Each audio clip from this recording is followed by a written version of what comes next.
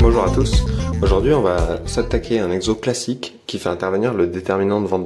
Alors, le déterminant de Van c'est un truc qui a été posé pas mal aux oraux, mais qui n'est plus posé du tout parce que c'est devenu très très classique. Mais là, pour le coup, ça, a été posé aux ONS, mais dans le but d'avoir un, dans le but d'en déduire une conséquence intéressante pour une caractérisation des matrices nilpotentes, qui est aussi une caractérisation très très classique. Donc pensez à vous abonner si c'est pas fait, et on va commencer l'exercice. Alors, le déterminant de Vandermonde, à quoi il ressemble C'est cette chose-là. Donc c'est un déterminant, hein, donc n fois n. Sur la première ligne, on met des 1. Sur la deuxième ligne, on met x1, x2, etc. jusqu'à xn. Troisième ligne, c'est x1 au carré, x2 au carré, etc. jusqu'à xn au carré, Donc sur cette ligne, il y a juste sur cette colonne, il y a juste les puissances de x1. Sur celle-ci, il y a juste les puissances de x2, etc. Ici, il y a juste les puissances de xn. Et maintenant, la question, c'est combien vaut ce déterminant? Alors, on peut faire déjà un petit peu d'analyse, constater que, par exemple, si euh, x1 égale x2, donc on va, appeler ça dette de A, pardon, dette de A, bon bah ça fait 0 en fait, parce que cette colonne-là va être égale à cette colonne-là, un déterminant avec deux colonnes égales, c'est un déterminant nul. C'est multilinéarité et le caractère alterné qui nous donne ça. C'est, enfin, c'est uniquement le caractère alterné qui nous donne ça, pardon. Euh, en fait, de manière générale, si xi égale xj avec i différent de j, pour les mêmes raisons, on a deux colonnes qui sont égales dans notre matrice, et à nouveau, d'être a égale 0. Ok, mais donc cette chose-là, évidemment, quand on développe le déterminant brutalement euh, par les lignes et les colonnes, ou avec la formule euh, qui fait intervenir les permutations, on va clairement voir que c'est un polynôme en x1, etc. jusqu'à xn, et euh, qui s'annule si xi égale xj, pour deux indices distants. Bon bah pour qu'un polynôme comme ça s'annule, on aurait envie qu'il s'écrive sous cette forme-là, essentiellement. On voudrait avoir ces termes-là qui apparaissent une et une seule fois, et donc on peut écrire par exemple un truc comme ça. Donc on peut s'attendre à, ce que ce soit un truc comme ça, ou bien avec J et I échangé, je sais pas exactement. Et donc pour que cette chose-là, pour qu'un polynôme s'annule quand xi égale xj, c'est assez naturel de s'attendre à un truc comme ça. Bon, en fait, c'est effectivement quelque chose de cette forme-là qu'on va qu'on va obtenir, mais bon, va falloir le prouver. Euh, alors, on va se placer uniquement dans le cas où les xi sont distincts, hein, parce que l'autre cas est, trivial. On suppose les xi 2 à 2 distincts. Donc il n'y a pas deux colonnes égales. Et euh, on va essayer de développer ce déterminant-là. Alors comment on va faire? Et l'idée, ça va être de considérer, de remplacer euh, une, des, une des variables xn par une indéterminée et en déduire une factorisation. Alors, on va considérer euh, nos x1, etc. jusqu'à xn dans ces 2 à 2 distincts. Et on va poser p de x, le polynôme, qui est le déterminant de Vandermonde, mais où on va remplacer euh, xn par une indéterminée. Ok? Et tout le reste euh, reste inchangé. Hein. Ok, alors ça, c'est un polynôme en x. C'est clair et en fait, on peut même en donner une expression en développant selon la dernière colonne. On va avoir x puissance n-1 fois quelque chose qui va ne pas dépendre de grand X, hein, qui va être en fait ce déterminant extrait ici. Ok Donc ça, je développe par rapport à la dernière colonne. Hein. plus ensuite ce terme-là, ça va être x puissance n-2 fois un autre déterminant extrait que j'explicite pas, etc. Donc en fait, c'est un polynôme de degré au plus n-1. En développant selon cette dernière colonne, c'est clair. Ok? Bon, mais c'est un polynôme de degré au plus n-1, et on sait, par le même argument que précédemment, qu'il s'annule en x1, parce que dans ce cas-là, on a deux colonnes égales, donc déterminant nul. Il s'annule en x2, pour la même raison, etc. jusqu'à xn-1. Donc p de x de degré inférieur ou égal à n-1, Et P de x1, c'est P de x2, etc. Et ça, c'est P de x puissance n-1 qui fait 0. Il s'annule en tous les xi. Et il est de degré n-1, euh, au plus n-1. Et les xi sont égaux. Sont, pardon, sont, excusez-moi, les xi sont distincts. Bon, bah, un polynôme de degré au plus n-1 qui a au moins n-1 racines, bah, il a exactement ces n-1 racines. Et donc, il n'y a pas le choix, c'est forcément ce produit-là.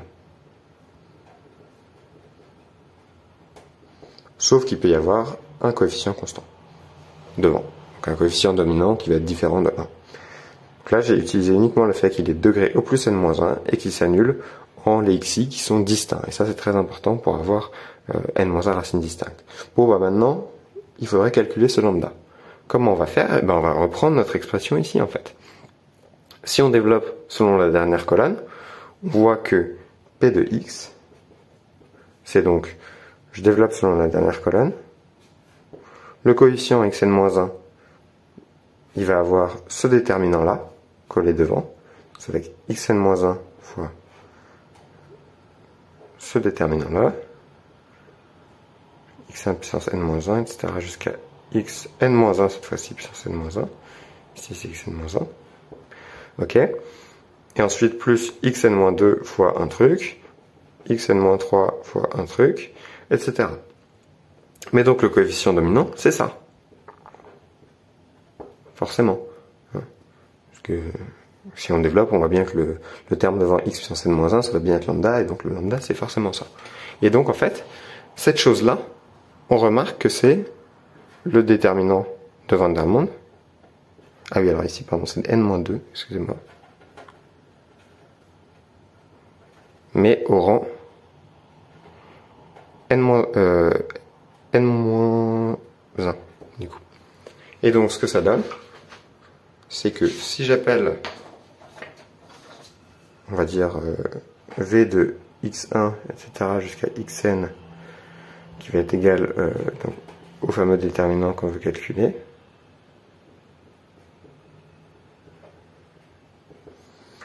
Alors on a euh, v de x1, etc., xn-1 grand X, ça c'est p de x, en fait, par définition de p, et ça, avec le calcul de lambda qu'on vient d'obtenir et l'expression qui est là, on obtient que c'est v de x1, etc., jusqu'à xn-1 seulement, fois le produit pour k variant de 1 à n-1 des grands x moins xk.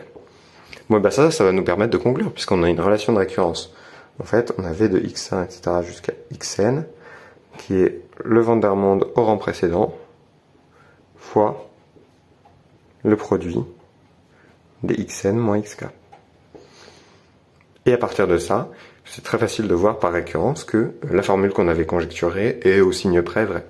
En fait, on va montrer par récurrence que v de x1, etc. jusqu'à xn, c'est le produit pour k variant de 1 à n des... Euh, pardon, excusez-moi, c'est... Je me suis un petit peu embrouillé, c'est le produit pour i strictement plus petit que j inférieur ou égal à n des xj moins xi. C'est ça. Bon bah alors, euh, l'initialisation, euh, bah, c'est essentiellement facile parce que euh, on va avoir un produit vide, donc ça fait 1. Et c'est bien ça, hein, au rang 1, le déterminant de Van c'est bien ça. Donc il n'y a pas de problème. Et hérédité, et eh ben, on utilise cette formule-là. Donc on suppose la formule vraie pour n-1 et on la monte pour n. Donc on obtient v de x1, etc. jusqu'à xn qui va être égal à donc cette chose-là.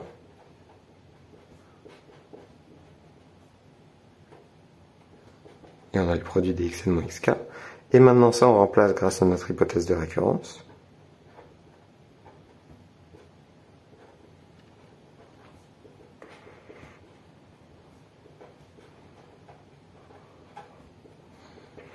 Et maintenant, il suffit de se convaincre que ça, c'est bien le produit qu'on veut. Bon, bah, il suffit de vérifier que, alors c'est effectivement la même forme de terme qu'on obtient là, là et là. et il faut juste vérifier que chaque terme apparaît une fois ici et une seule fois.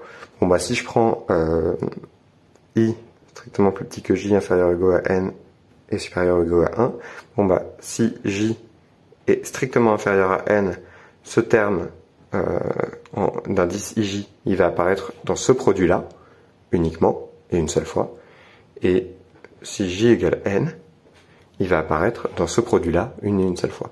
Et donc on a bien l'égalité qu'on voulait. Et ça démontre le résultat par récurrence. On va passer donc à l'application de ce calcul du déterminant de Van. Alors, c'est une caractérisation des matrices nilpotentes. Donc, on, s'intéresse à une matrice de Mn de K où K vaut par exemple R ou C. Et euh, on suppose que pour tout K, trace de A puissance K vaut 0. ok? Et on veut montrer que A est nilpotente. Alors, pour montrer que A est nilpotente, c'est la même chose que montrer que ses valeurs propres sont nulles. Le spectre de A, c'est euh, l'ensemble de ses valeurs propres. Pourquoi? Bah Parce que si jamais, si le spectre de A égale 0, alors on peut écrire A semblable à une matrice triangulaire supérieure avec que des zéros sur la diagonale. Ce qui nous donne ça, c'est le fait qu'on peut trigonaliser dans C.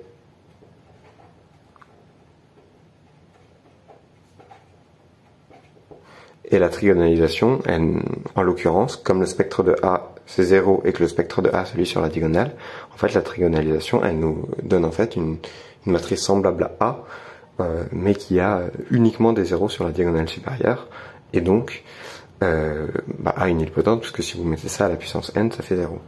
Une autre manière de voir les choses, c'est aussi de dire que le polynôme caractéristique de A, c'est euh, x moins lambda 1, etc., jusqu'à x moins lambda n, où les lambda i sont les valeurs propres comptées avec multiplicité de A. Mais si le spectre de A est nul, et eh ben ça, ça fait x puissance n. Et alors cette fois-ci, c'est quel est Hamilton qui donne A puissance n égale 0. Par exemple. Il y a pas mal de manières de voir ces choses-là.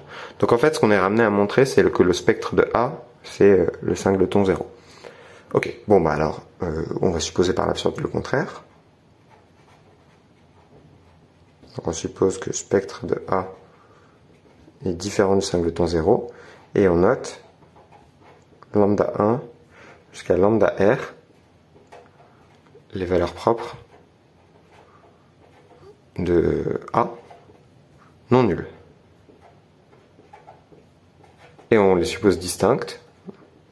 Hein. Et on prend donc euh, lambda i de multiplicité, donc on va noter sa multiplicité ni, par exemple. ni c'est un entier. Donc ce que ça dit, c'est que euh, le polynôme caractéristique de A, c'est le produit pour i variant de 1 à r, dx moins lambda i, la multiplicité de la racine, qui apparaît n fois, et ensuite, il reste euh, bah, les valeurs propres 0 que j'ai pas mises dans ces lambda i. Et ça, ça va nous donner x, n moins euh, la somme des n pour que ça soit de, degré n. Mais peu importe, hein, c'est juste, on prend les valeurs propres non nulles distinctes, et puis on note ni, la multiplicité de la im, valeur propre distincte. Alors maintenant, la trace de a, qu'est-ce que c'est? Eh ben, c'est la somme des valeurs propres. La valeur propre nulle, de toute façon, elle n'apparaît pas dans la somme. Donc en fait, on a la somme des li, mais li, il faut le compter ni fois, puisqu'il a une multiplicité ni. Ok? La trace de a carré, qu'est-ce que c'est? Bon, bah ça, ça va être euh, euh, pareil, la somme des valeurs propres de a carré, et les valeurs propres de a carré, c'est les carrés des valeurs propres de a. Hein, ça, c'est facile à vérifier. Et ça, ce que ça nous donne, bah, encore une fois, c'est la valeur propre li, mais au carré etc. en fait. On a trace de a puissance k égale somme pour i variant de 1 à r de euh, ni lambda i puissance k. Ok, mais donc ça, avec notre hypothèse sur les traces. Alors évidemment, on sort les traces parce qu'on a une hypothèse sur les traces. Hein. C'est pas spécialement naturel de le faire autrement. Comme on a une hypothèse sur les traces, on regarde les traces de A. C'est ce qui est le plus naturel. Mais donc, notre hypothèse sur les traces donne, pour tout cas donc on, va dire entre 1 et n, que la trace de a puissance k, c'est 0. La trace de a puissance k, hein, on a vu que c'était cette chose-là. Bon, bah là, on commence à voir apparaître un déterminant de Van der en fait. Ces, euh, ces relations-là, on va l'appeler étoile. Étoile pour i qui varie de 1 à r. Ça donne en fait exactement, sous la forme d'un produit matriciel, le vecteur n1 jusqu'à nr. Et ici, eh ben on va avoir euh, que donc lambda 1 n1, ça va faire euh, lambda 1 n1 plus lambda 2 n2, etc. Ça, ça fait 0. Ok Ensuite, si on met au carré, ça fait encore 0 en fait. Etc. Jusqu'à lambda 1 puissance R, lambda 2 puissance R, etc. Lambda R puissance R. Et tout ça, ça fait 0 à chaque fois. Hein, puisque si je, si je calcule, euh, par exemple, le, coefficient euh, sur la ligne 2, ça va être lambda 1 carré n1, lambda 2 carré n2, etc. Et on somme tous ces trucs, bon, bah ça c'est la trace de a carré. Une manière de le voir, c'est juste de dire que cette chose-là, c'est trace de a, ça c'est trace de a au carré, etc. Et c'est trace de a puissance r. Et donc ça donne 0 partout. Ok, mais maintenant, cette matrice-là, eh ben, on sait que c'est une matrice, c'est quasiment une matrice de Vandermonde. Bon, bah alors calculons ce déterminant, on va l'appeler A, cette matrice. Et dette de A, c'est ce gros déterminant-là. Bon, bah on peut, utiliser, la linéarité pour sortir un lambda 1 devant et se ramener à une matrice de Vandermonde. On sort un lambda 2, etc. Et on sort un lambda R.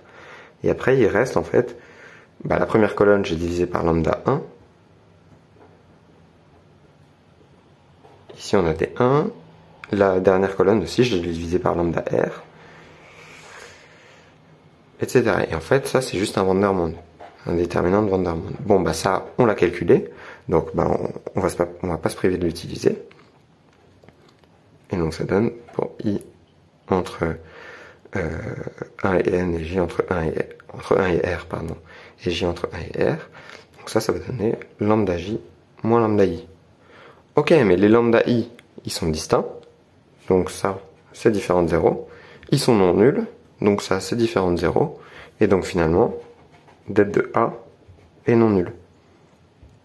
Et donc, N1 jusqu'à NR, qui est dans le noyau de A, bah, est forcément nul, puisque le noyau de A est réduit à 0, puisque A est inversible comme son déterminant est non nul. Ok, mais donc ça, ça pose un problème, parce qu'en fait, c'est les multiplicités de, euh, c'est les multiplicités des valeurs propres. Donc, les ni, ils sont dans, en fait, n étoiles, hein, parce qu'on suppose que les lambda, ils sont valeurs propres. Et donc, on obtient une absurdité. Puisqu'on a obtenu que euh, ce vecteur-là est en fait non nul, puisque les ni sont dans n étoiles, mais il est dans Ker de A, qui est inversible. Donc, c'est là qu'on obtient une absurdité. Et euh, ça conclut la preuve, en fait.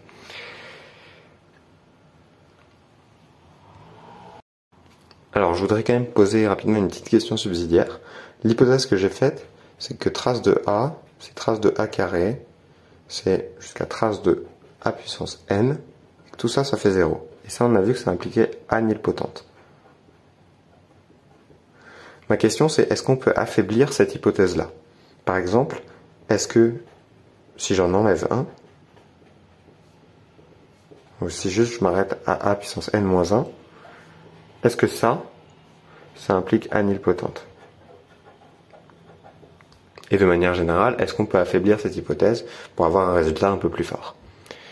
Voilà, je vous laisse réfléchir à ça éventuellement dans les commentaires. N'hésitez pas à me faire part de vos retours. Merci beaucoup.